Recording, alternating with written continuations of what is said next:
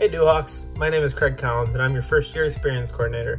So I'll be with you all this summer helping you through the process. We're excited for you to join us on campus in the fall and I'm sure you'll love Loras just as much as I do. Here are some of the reasons why Loras is so special. My favorite thing about Loras is the community. You will find that faculty, staff, and students will take an interest in you and want you to succeed. One thing I love about Loras is the accessibility of faculty. From office hours to individualized attention in the classroom, they are always willing to help you with anything.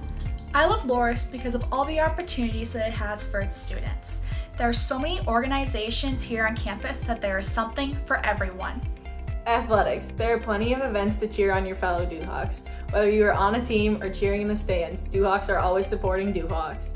No matter what your faith backgrounds or traditions may be, you are not only supported, but also encouraged to grow. Study abroad, whether for a full semester or a J-term experience, there are many opportunities to travel and to learn about different cultures. Internship opportunities. If you're looking for an internship in your hometown or the Dubuque area, the Center for Experiential Learning is here to help.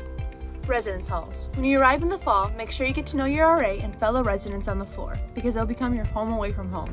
Academics with a liberal arts education allows the opportunity for you to add a major or a minor within your time at Loras.